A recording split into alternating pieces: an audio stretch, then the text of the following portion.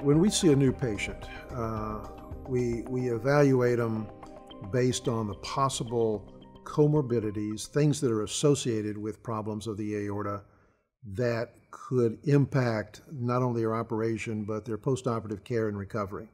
As in, in a general rule, no matter what part of the aorta that we're going to be focused on, we try to evaluate their kidney function, which we do primarily with blood tests, but there are other tests we do. We evaluate their, their lung capacity because when you're working inside the chest, you do need lung power to recover.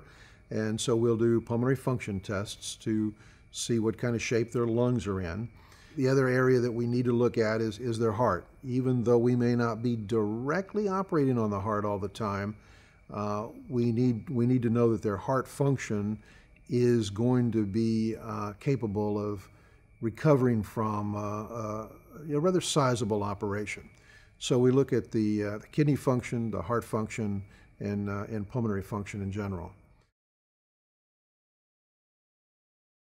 When we're working on the aorta, probably the single best test to evaluate the entire aorta is a CAT scan that's done with IV contrast.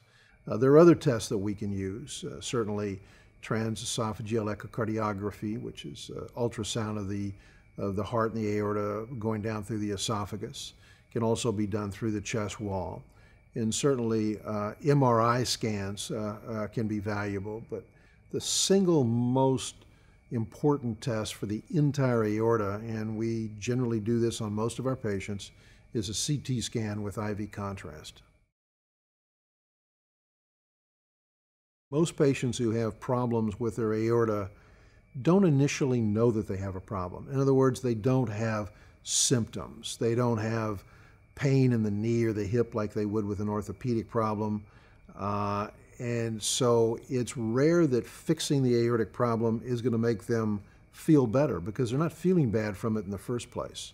So we sit with the patients and explain to them that because they're probably not having symptoms, the surgery is not going to make them feel better. Its main purpose is to keep the problem from the aorta taking their life much earlier than they would under other circumstances.